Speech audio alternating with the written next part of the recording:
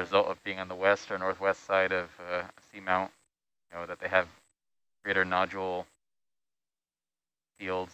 Can we, um, There's a go, fish. Go back and take a look Oh, at, yeah. oh, yep, fish first, go to the fish. Okay, getting the Haven't fish. seen enough of those. The elusive fish. Corals don't move very fast, but the fish, yes. Go for zoom. I'm not in my best fish flow here. Had enough practice this dive. Okay. See if you can get his little little face.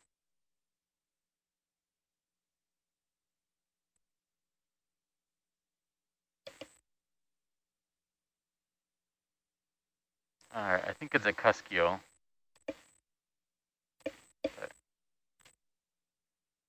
Very bouncy. Nice job. Tough to tell without frame. getting That a good shot of the lateral line.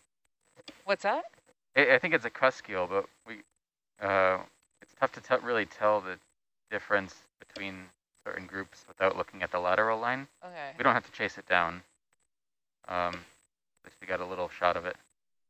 Uh, but to the back and to the right, there was another thing I wanted to look at. Okay. Uh, there was a dark kind of fan-shaped object. This that I thing is super cool. Dark fan-shaped object. I think it's- Oh, yes, down and to the right. Maybe? Um, Nope, piece of rock. oh, up on top here, Okay. Oh. this thing.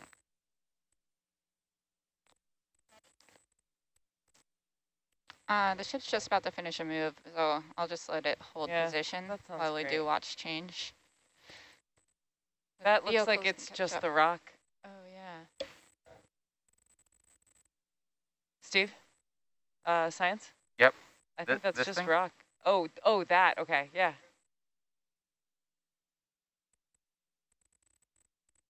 Yeah, that's just the rock. That's a midwater rock right there. A midwater rock. We found it. This is actually a pretty neat thing if uh, this turn, turns out to be what I think it is. Okay. Let me see if we can turn it out to be that thing. That's that's what I'm thinking. I think it might be the first one we've seen so far of the cruise. Yeah, We just found a neat thing. I think it's a black coral, uh, but we're just gonna zoom to confirm, and then it's all Can I get a zoom?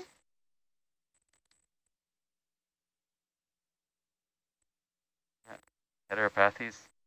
Okay, go for zoom. Are we still calling that Heteropathes americana? Wow. Yeah. Strange collection of polyps there at the base. Yeah, that's Very, interesting at the like fleshy, stalk. Yeah. Frilly. Mhm.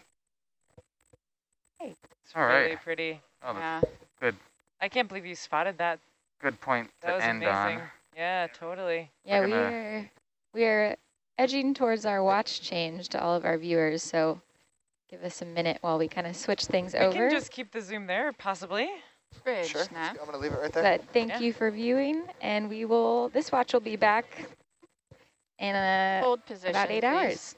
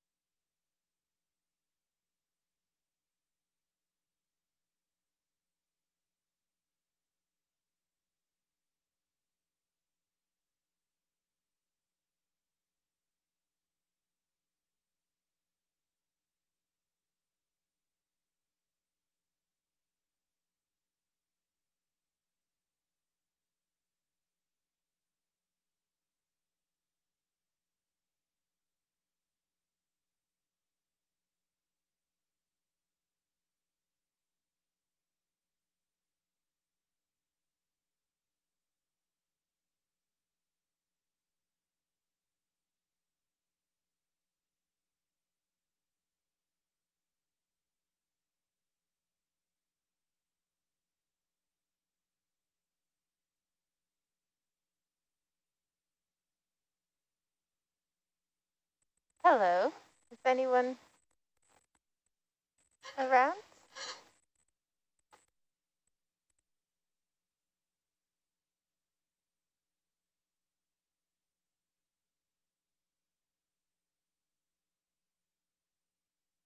Just kidding, everyone's getting plugged in.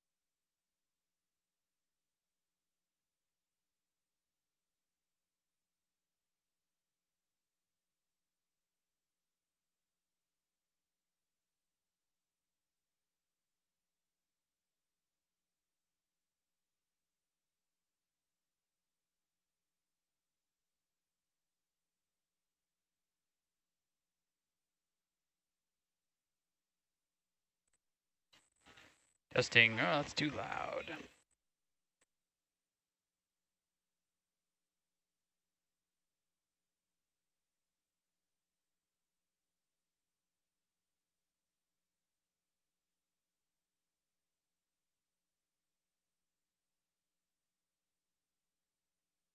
Looks like Team Blue Water is actually going to get some sea bottom action today, so stay tuned. We're going to start introductions in just a bit.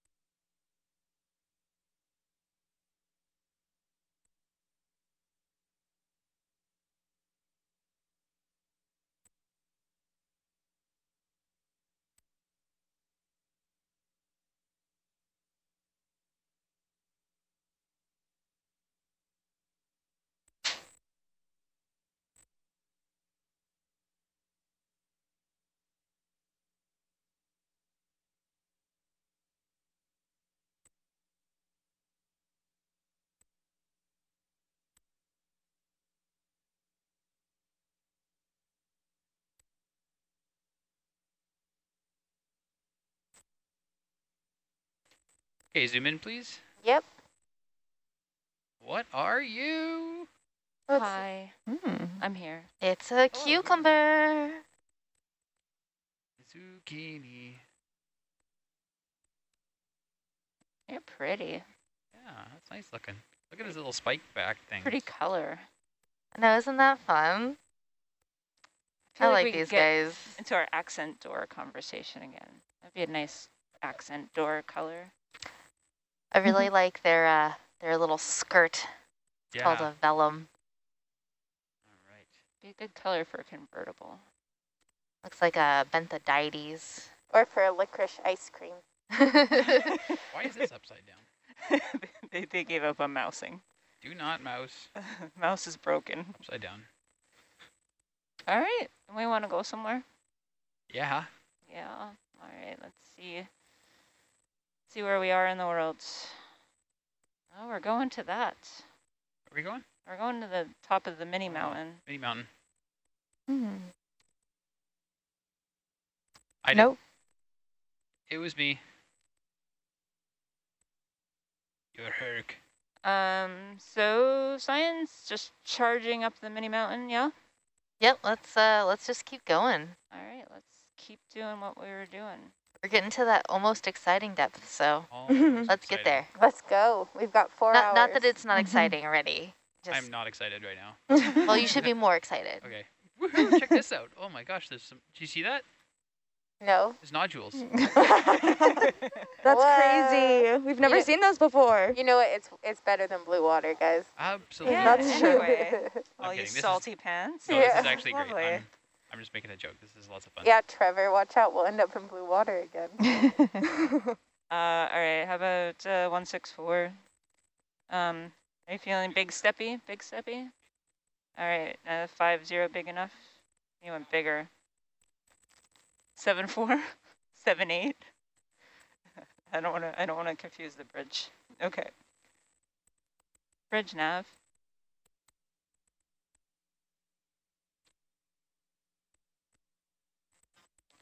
Can we get a five zero meter step bearing one six four? Correct, thank you. Oh, yep.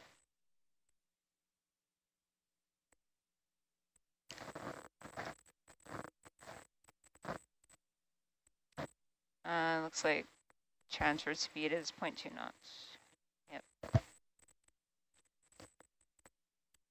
You want to go faster? Bridge nav.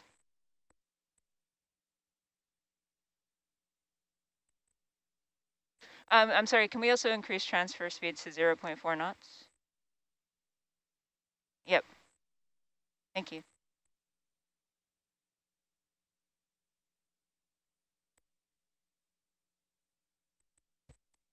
So we are in, what, our 12th hour of the second dive for the uh, Lu'ua AI Hiki Keiko Lunakai expedition. We are exploring unnamed seamount G near the Chautauqua seamount that is named. It's, it's the only named seamount in the chain. And we'll start introductions in just a moment.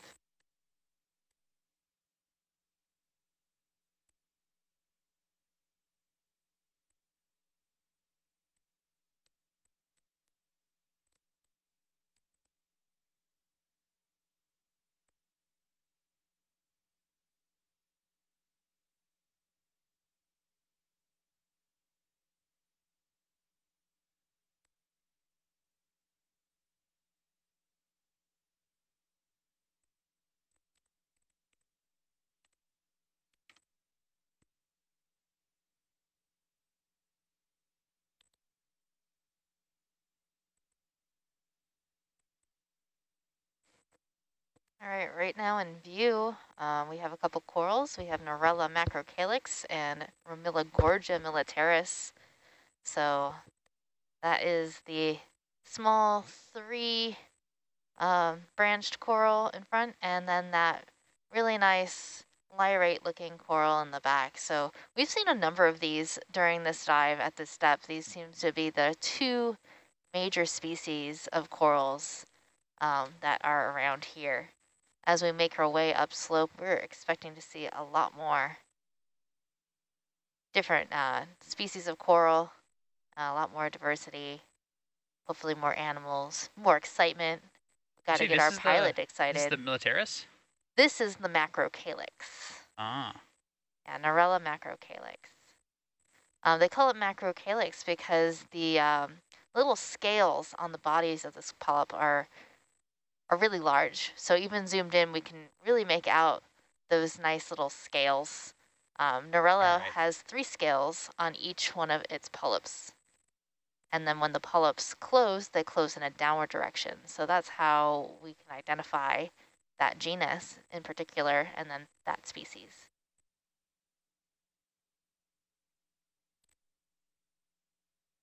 How does a coral exercise its back? By doing pull-ups. Oh, no. oh my. Is there any benefit to closing upward as opposed to closing downward, or just something that you see, like being left or right-handed? I, I think it's something like being left or right-handed. Um, it's just the way that those scales on the body of the polyps are um, structured, and it just the polyp can only close in one way, one direction. Um, and it would be bad if they were closing in opposite directions, on the same colony just because they would bump into each other. So they all close in the same way. And that can help protect the polyps on the coral if, say, a predator is coming by. So you'll notice that um, polyps on the corals will, will close up, say if uh, Hercules takes a sample, just because that colony is now disturbed and the animal wants to protect itself. And tentacles are nice, delicious things for animals to nom on, so they like to pull in their tentacles. So something like a sea star that eats the polyps, uh, would retracting the polyps actually protect the coral against the sea star? Or are, we protect, are they protecting against different predators? Uh, that would be protecting against different predators. Uh, if you are a coral and you're being predated on by a sea star, the sea star actually extends its stomach outside of its body, wraps it around the branch of the coral, and then uh, digests it there. So the coral really has no chance. There's not much escape in a stomach, is there? Nope.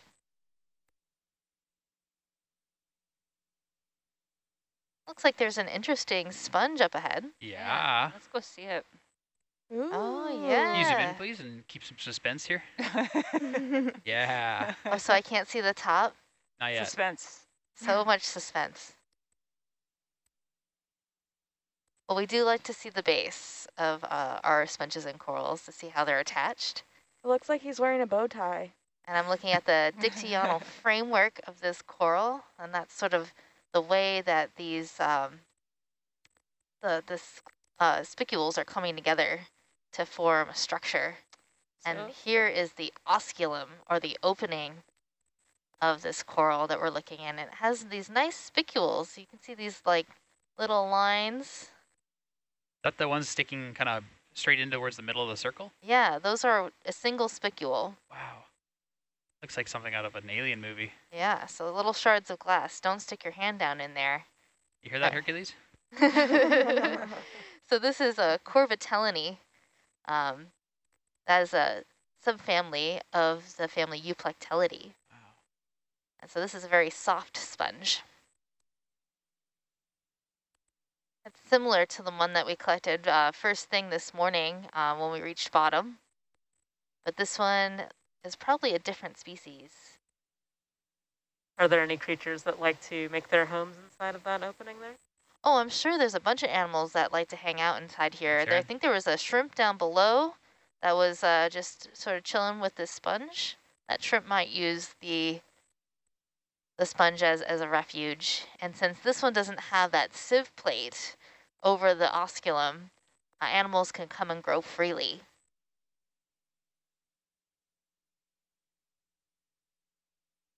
You also see uh, worms or bristle worms uh, in sponges quite often, um, sometimes hydroids. Uh, crinoids will use sponges as perches.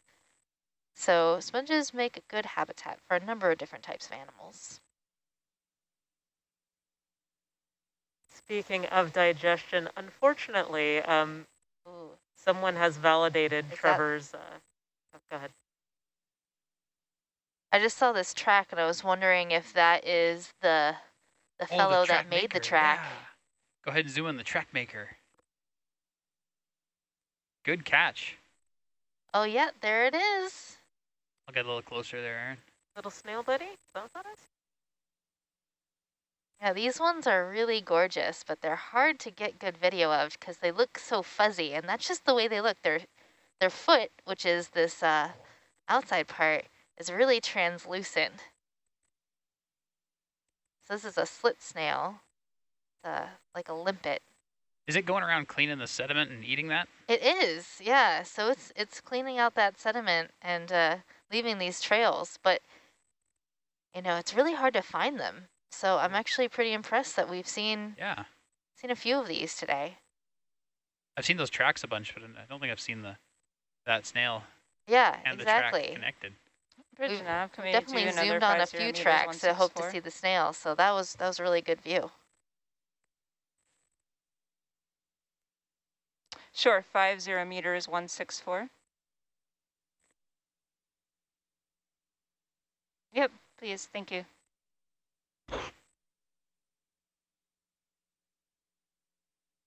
Though I will not go into detail, Trevor, one of your fellow Canadians, uh, has vindicated your hagfish slime egg white idea What? It Why are we talking about this again? and Oh, wait. provides examples. Wait, sorry. I, I, I only heard half of what you said there. I won't go into detail, but one of your fellow Canadians has vindicated your hagfish slime as egg whites idea Oh, good. and listed examples. And that will be the last time we talk about it.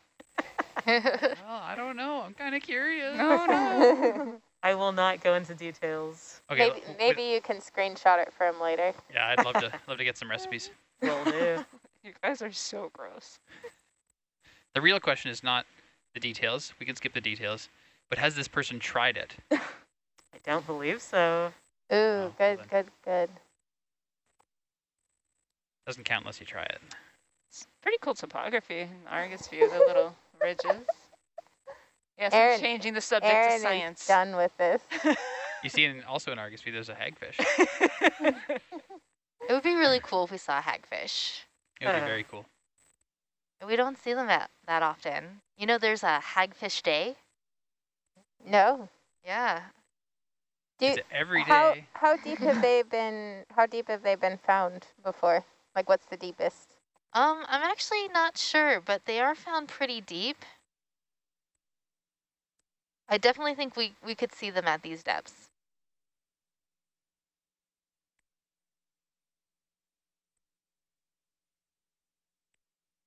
But look at that Argus view. Looks like It a layer nice, cake. yeah. It's, very really cool. So little plateaus, steps.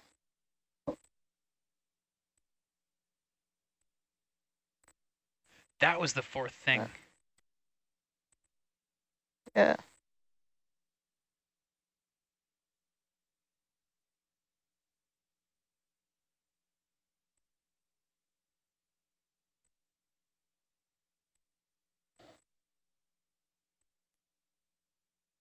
Yeah, this morning.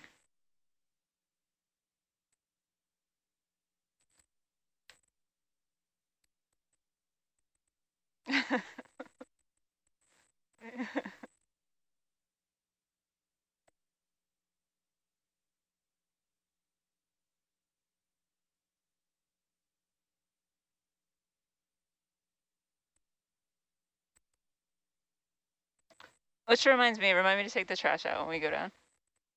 Well, not yet, but I don't I don't want to hit that spot.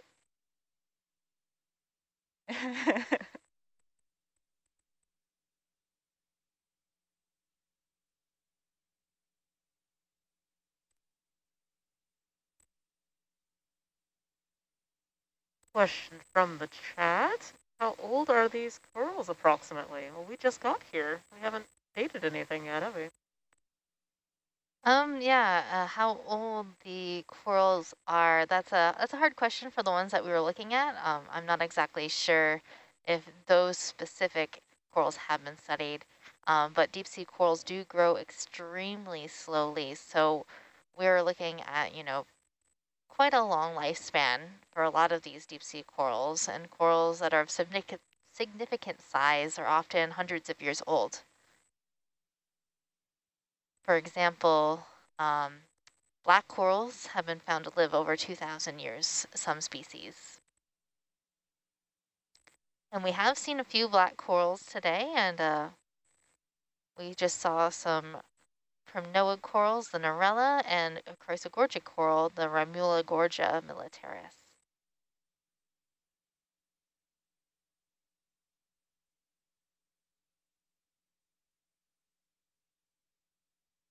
One six four. Okay. I got a wee bit of current pushing me to the left, which I guess would be a easterly current.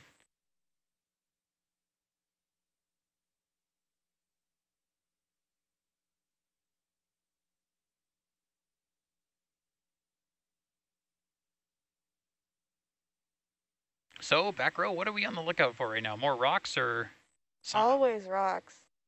What are you Okay. going to do with all those rocks, Coralie? I'm gonna study them. Great. do some science with them? I'm gonna do some science with them. Nice. And, and then build a wall with them? Actually, I'm hoping to make my house out of them. Yeah, that'd be awesome. Yeah. have like a really nice rock garden. Trevor, are you okay for a zoom on Argus? Yeah. Aaron, can you zoom on Argus, please? Oh, can we look at that thing? What is that thing? That That's what I want to know. It's What sticking out it? of the sediment, so it might be a sea pen. Zoom in, please. Wow. The same color as the sediment. No, it's heaving. Yep. So this is a sea pen, Thanks. and it has a um, a basket star on it. That's a star? Yep, it is a star. Looks like a knot. Cool. Do we know any more than sea pen? Like, can you get, does it have a species name? Uh, yeah, it's really hard for me. I don't really know the sea pens very well, unfortunately, and uh, the ones that live in the sediment are ev even more difficult, especially the white ones that look all the same.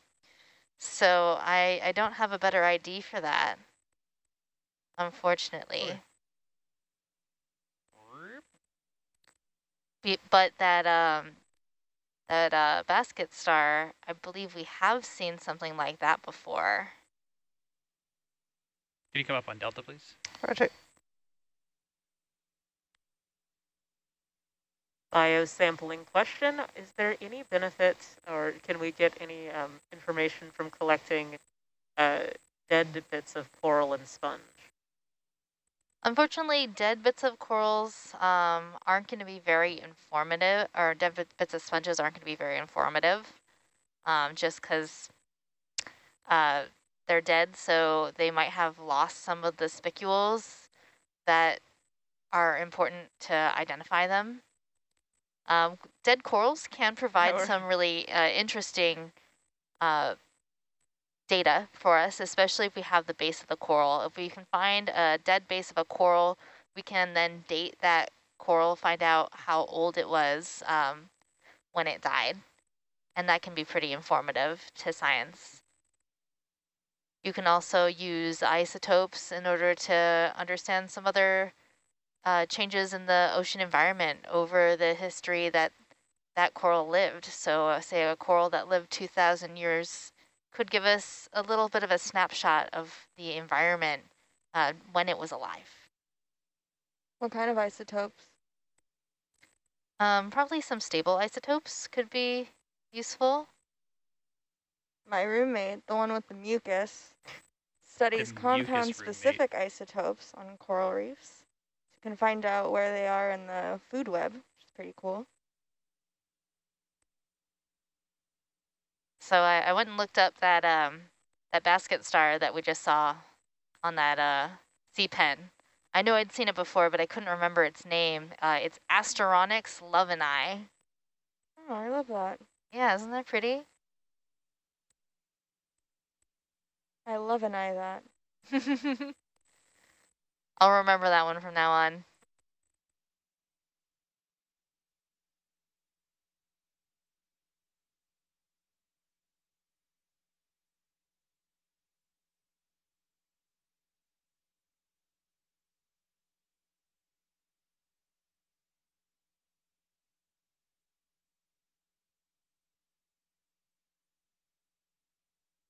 So when uh, doing biosamples, um, how do we deal with temperature and pressure changes when bringing them back?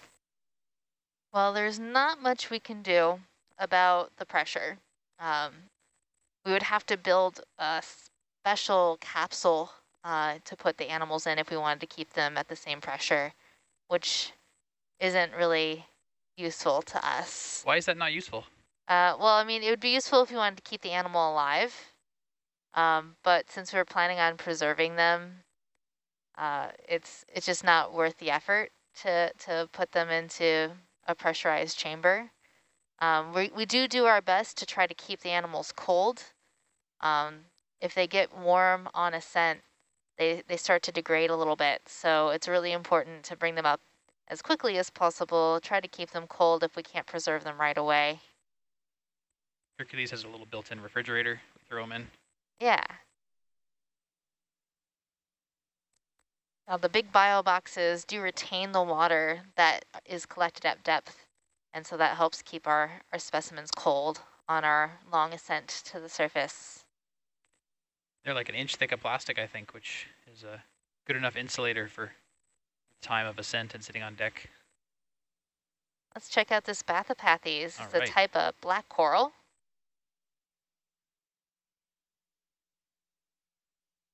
Now sometimes, if we zoom into the center, you might see a little Go ahead, um, a little polychaete worm hanging out I think right in between. center.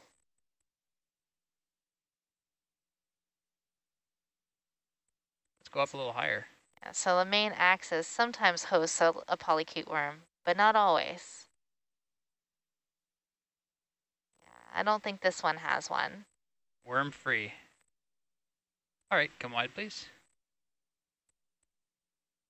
Are the worms typically using it for food or protection, or why do they typically have one?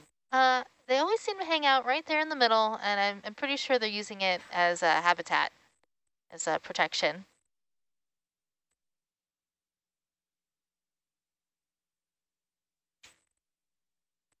Oh, what's that? Oh, I gotta go. Oh, okay. Oh, that's a sea cucumber. Look One of those really dark purple ones. yeah.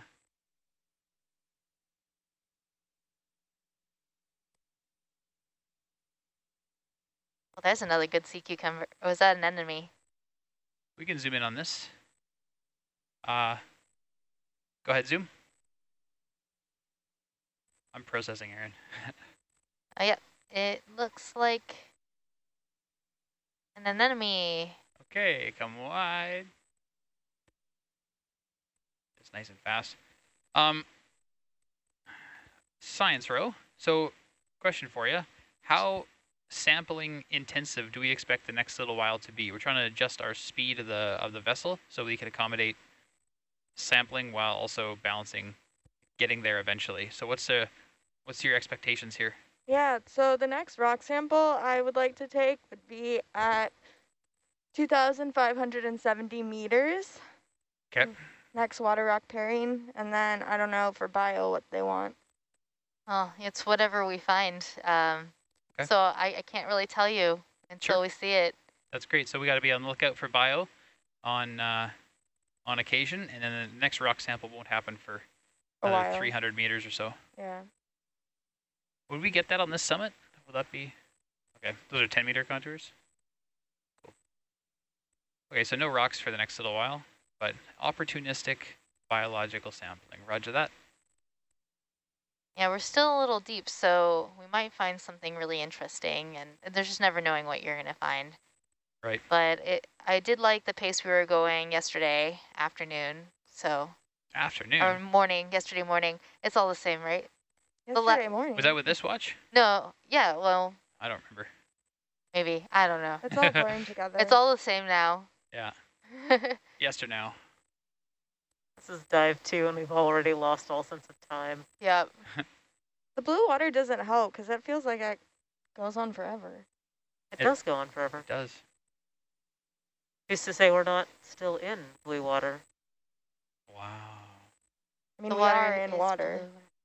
the rocks are just making it uh, less blue. Yeah. Someday you will realize there is no rock. What? Have you not seen The What's Matrix? this white thing? Can you zoom in on there? um, please? no, I have never seen The Matrix. Everyone is really surprised that I haven't. Um, What? What are those? Oh, look at this little hymenaster. This is a slime star. Aw. Oh, it's so cute. Okay, come wide, please. Bonk. I Nice almost looking thought it was a cucumber for a moment, but then I saw it was not. Almost the same color as some of those cukes that we've been seeing. So we're not looking to sample a cucumber until we uh, get to the summit of the seamount. So that won't be until probably tomorrow morning. Yeah, we could do another move now, I think. Okay. Bridge nav, another 50 meters, 164, 0 0.4 knots.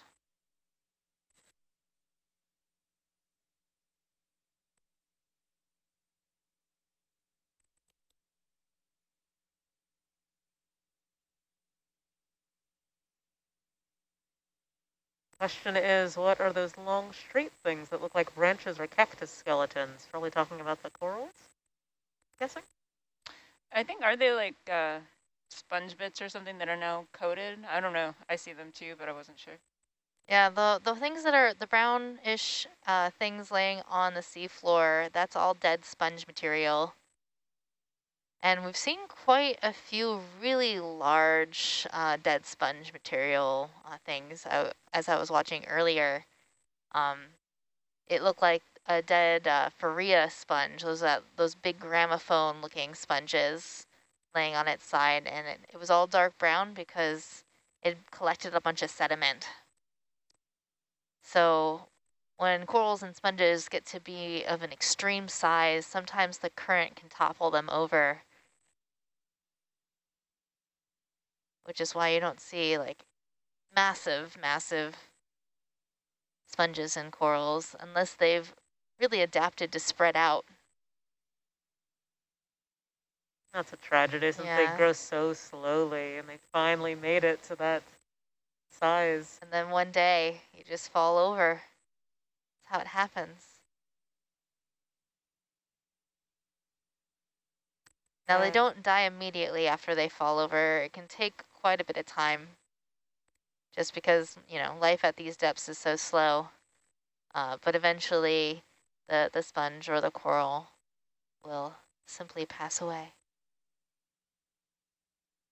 Uh, we got a question from a few minutes back. There's a little red organism on the left side of the screen. I think we were zooming into the slime star. I think it a shrimp? Um, that could have been another one of those basket stars that was living on a sea pen. I've actually been seeing quite a number of those after we saw that first one. I saw a shrimp on the left side of the screen. Yeah, I thought it Oh, was it could have been a shrimp. shrimp shaped, but it could have been, you know, a star mimicking a shrimp. Well, I have to remember what it was, which red thing, It you was, know. I saw a shrimp just to the left of that white star we zoomed in on. If that's what the person's talking about, that was totally shrimpy. It was shrimpy. I mean, could be. I We saw other red things too. There are a lot of red things. Like sometimes it's uh, brittle stars on corals. Sometimes it's shrimps. What color is that worm we were looking for on the black coral? Um, they're they're usually like a, a grayish color, Okay. grayish white.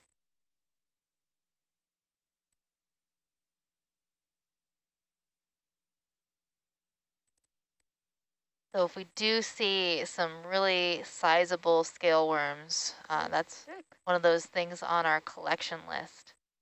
Scale. Yeah, they're like good sized polychaetes, bristle worms. And they're called scale worms because they have little scales on their back. Sort of like a, a fish scale.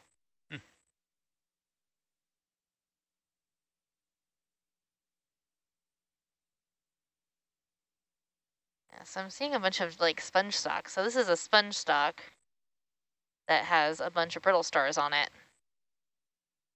We have time for a quick zoom on it. Go ahead. And this sponge stock doesn't look super recently uh, deceased. It's still white in color. Hasn't collected a lot of sediment. Did the top break off of it? Yeah, it looks like the top broke off of it. And it can't do any filtering through the stock, is that right? Uh, not that I know of, no. Poor guy. The stars are going to town. Yeah, the stars really do like it.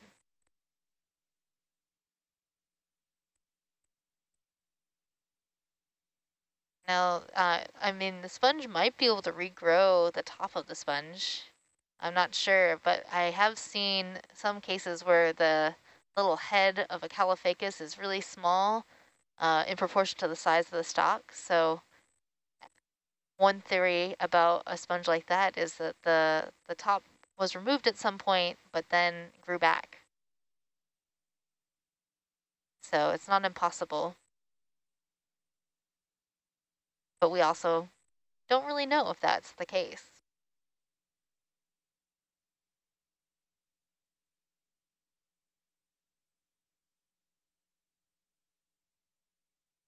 Question for some longtime explorers. Have you ever explored any caves or caverns? Or at least come across them? Fish. well. Oh, bye fish. Bye, fish. We were on um, some cave hunting around the Channel Islands for a couple of years in a row, um, where we saw some small, small caves. Um, we were trying to pick them up with the sonar and then explore with Herc, but we didn't go inside them with, It's this little thing right here. Little micro black coral, maybe? Yeah, it might be a black coral. Zoom in on that, please. I don't know if I can get very close. See what I can do. Oh, you're right. Look how cute it is. It is really cute. This could be a heteropathes. Yeah, so I know it's a heteropathes because it's got branches coming out from the center axis in addition to the one long ones on the side. Isn't there something too where the, the branches come out at the same point versus staggered? Mm-hmm. Can't remember how that goes. Yeah, so some Bathypathes are alternating and some are opposite branching. And they're both bathy bathy? Uh, some are, there are Bathypathes that are alternate, there are Bathypathes that are side by side, Cool. and then there's the heteropathes that looks similar, but it's got extra branching. But black corals are really hard. Sometimes you have two things right next to each other that look the same, but they're actually different. Um, and a lot of the characters are microscopic, so you've got to like zoom in and see the like, bumps and features. It can be very difficult to tell them apart in video alone. Pop quiz for you, Megan. Are you ready? Okay, What is a coral? what is a coral? All right, Love it. well, a coral is an animal. And if you, strictly speaking, most often uh, corals are a colonial animal, though there are exceptions to the rule uh, of being colonial, like uh, cup corals are a single polyp.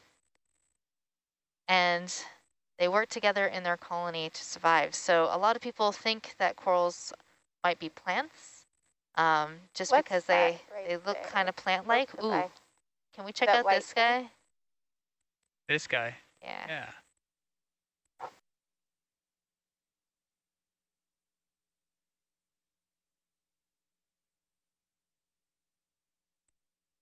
Okay, zoom in there, please.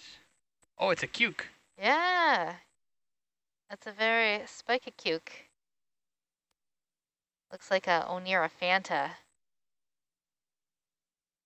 So this is one of the ones that uh, Liz Miller at the University of Hawaii was looking for. You got more zoom? Um, but sample she, it?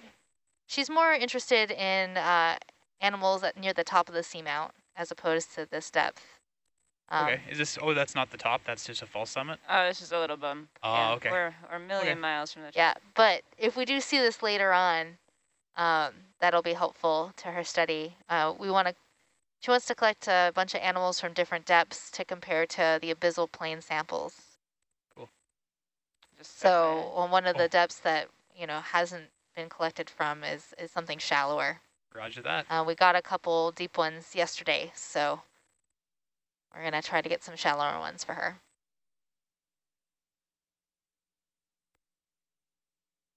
But just sort of pointing it out, just in case we see them later on and I miss it. From afar, I thought that was a sponge. it yeah, it kind of looked a little spongy, didn't it? Mm-hmm.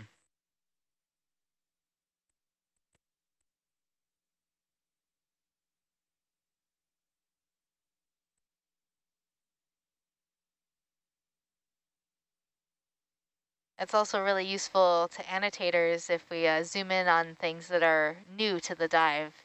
That way, you know, kind of have in your mind what types of animals you might see. Sometimes it's hard to identify something from far away without um, getting a good view at least one time. AKA helpful to you in the future. Yes, I, I'm just definitely looking out for myself too. You- I'm a, you I'm see a how fan. is. Let's zoom in as much as you want. Zooms are really helpful. These old dead sponge carcasses look like It looks those uh, cool. rubber mats. Yeah. Zoom in Oh, on the yeah. sponge carcass a sec. And then while we're at it, there's a black coral just above. Wow. That yeah, is it looks cool. like the bottom of your shoe. Yeah. Like you know, someone was walking around. Where was that black coral? It's just right above. There it there is. it is. Oops. Whoa. Oop, Whoa. Hello? Easy does it, Trevor. There we go. Yeah, nice. Yeah, that looks like a Trissopathes. All right, thank you. Oh, we're gone. Got a couple of uh, associates, but I wasn't able to see what those were. Probably some really fine, small, brittle stars.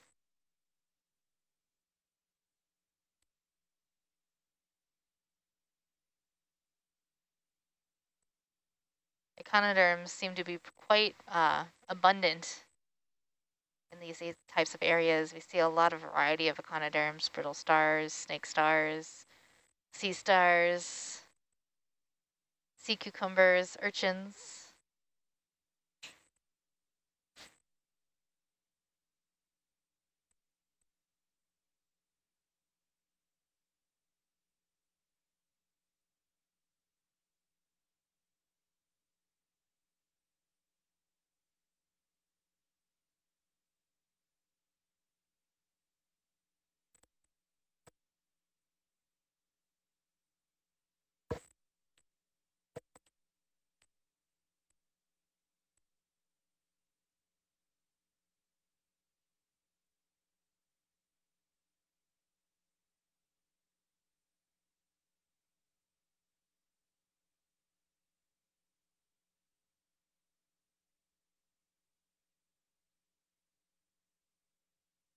Got a question from the chat. Uh, the dead, uh, uh, oh, my brain shut down.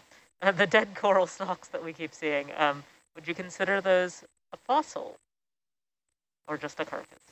Um, so the dead sponge stalks, uh, I wouldn't consider those fossils.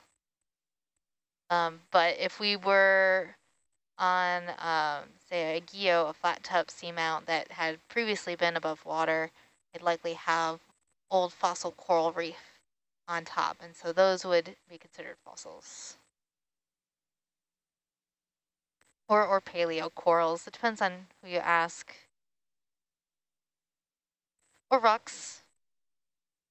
If you ask me, they're just rocks. Everything's a rock, really. if it's not currently alive, it's a rock. Rocks are alive in their own special way? Hmm. Well, let's ask the geologist.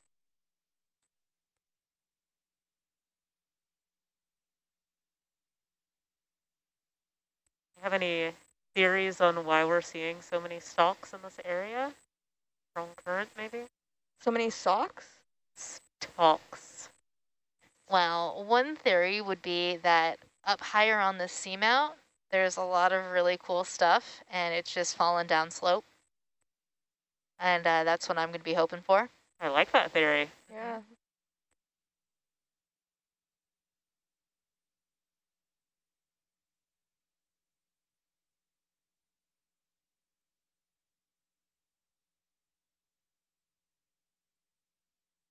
Is it ever possible that like a large organism can come by and just kind of like brush everything over?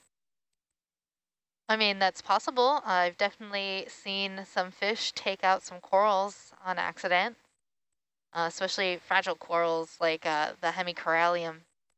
Uh, there was one dive, a coral got startled, or not, a fish got startled by uh, the vehicle, and uh, it just sort of flipped around really quick and swam straight through a hemicorallium, and it just shattered into little pieces. So it is possible for animals to uh, to to knock over corals or sponges, uh, but we're not going to see too many animals of significant size down here that are going to be taking out those really big sponges or corals.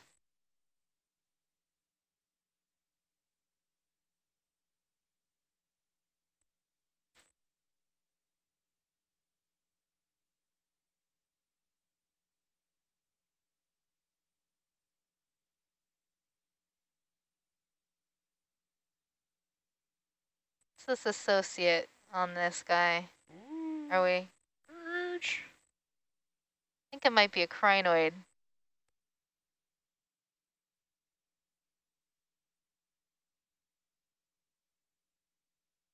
Okay, go ahead zoom in, please. Looks crinoidy. Yep. Sure is. Is that the same as a feather star? Yes, a feather star. Oh, and it has a little uh, snail on it. It has its own associate. Yeah, it's got its own little associate. Wow. Cool. Okay, thanks. So many sea friends, sea friends. Friends just- forever. not just associates, they're friends.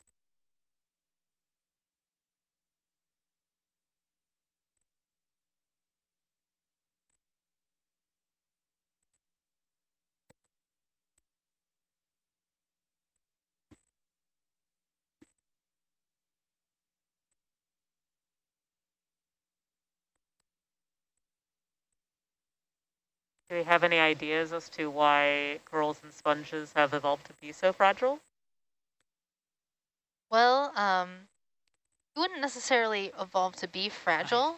Yeah. But if, say, there is such little chance of you being disturbed, there wouldn't be that um, pressure to construct a stronger skeleton um, to reduce the chances of you being damaged. So in the deep sea, you're not really getting extremely high currents that are going to be damaging to corals. Um, so that's why you're not going to see uh, that the really large pink corals in shallower water, uh, just because, you know, they could be easily damaged. But down here, they might not be. So there isn't that pressure to, to be a strong uh, coral skeleton. It doesn't mean that the skeleton isn't strong. It is it is pretty strong. It can hold up to quite a bit, um, just not a fish swimming through it. Um, other corals uh, have extremely strong skeletons, like uh, the black corals, for example. Example, um, they tend to be very wiry and, and very strong. That's why we have coral cutters on our manipulator arm uh, to help snip off samples, because otherwise it would be very difficult uh, to grab a piece of that coral. It really holds on quite strongly, holds together very well. The Uh, base is usually the weakest part, I think. Yeah, Just usually the to the base will, will give way first, uh, than the actual skeleton. Uh, but a lot of these corals are, are too big to put in our bio box, so we only need a small piece, and, and we don't want to take more than what we need uh, to identify that animal.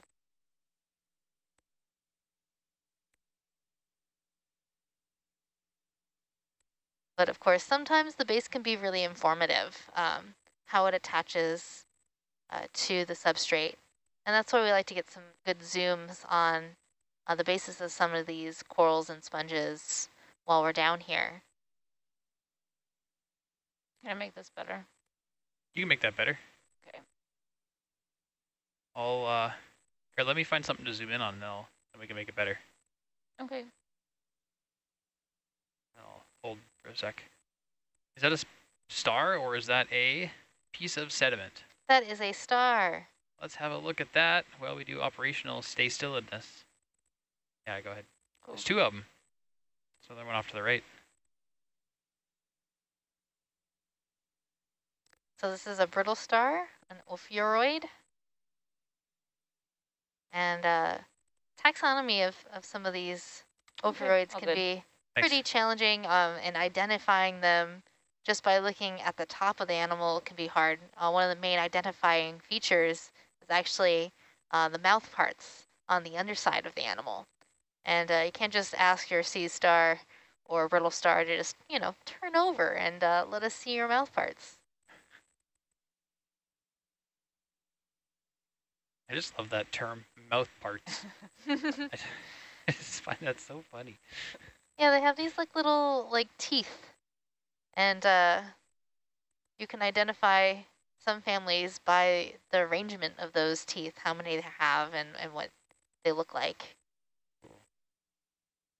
You're also looking at the scales that are along the arms, which can also be quite difficult to see unless you're looking at them under a dissecting scope.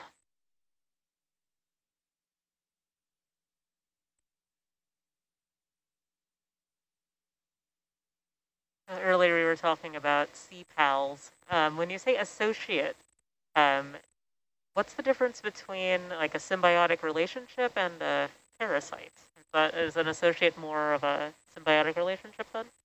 Um, so I say the word associate uh, because I don't want to make the assumption uh, that these are commensal organisms or parasitic organisms that are on top of the host.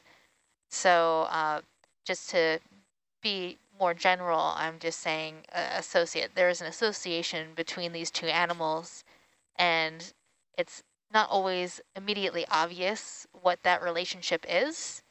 And uh, just to not give anybody wrong information or, or make things up, um, I'm trying to use a, a little bit of a broader term.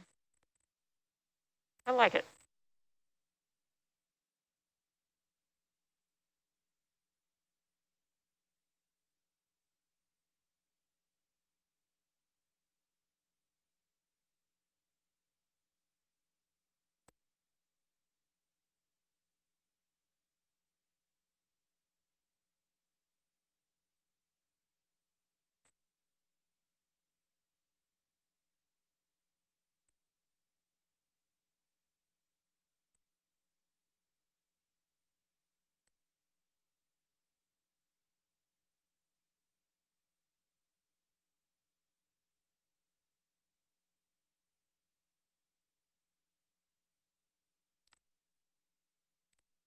Bridge nav, another five zero meters, bearing 164, 0 0.4 knots.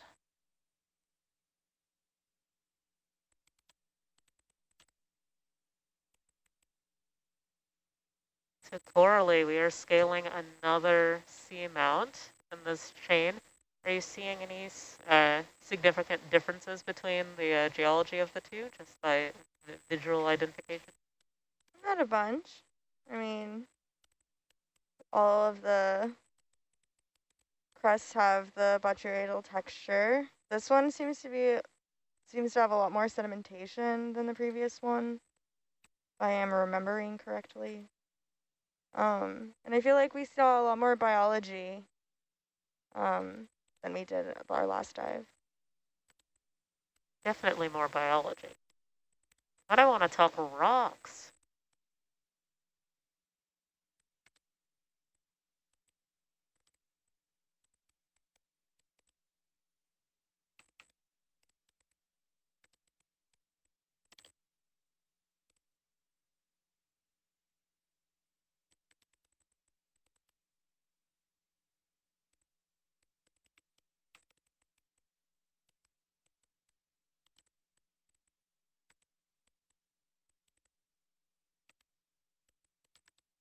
I don't think we did official introductions for this dive, but um, we are at the moment surveying seamount, unnamed seamount G near the Shautaka seamount, which is just uh, south of the Papahanaumokuakea Marine National Monument. Right now we're at about 2,700 meters depth, and we're making our way up the slope.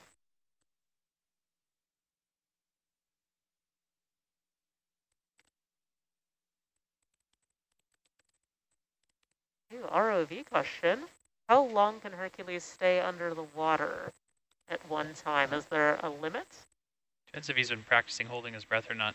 um, no, not really. The limiting factor is usually when we run out of science or dive objectives.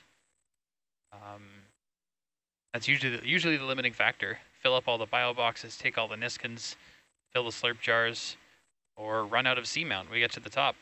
Those are usually the things that end a dive. So on this cruise, we're doing approximately 24 hour dives because that's an appropriate amount of time to cover the seamount and fill up our sample space. Um, last cruise, we were filling up stuff faster and doing more around the 12 hour mark. But uh, I think Hercules' longest dive is 74 hours, just over three days.